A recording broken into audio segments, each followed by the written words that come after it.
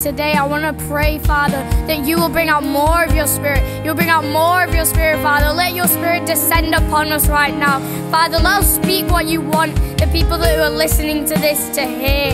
Father, lead us. Lead us in what we say. Lead us in what we say to others. And the same with the people who are watching it right now. I pray that you'll begin to speak out. You'll begin to pray. And I pray that you will be filled with the Holy Spirit. Father, bring more. Bring more, Father. Bring more.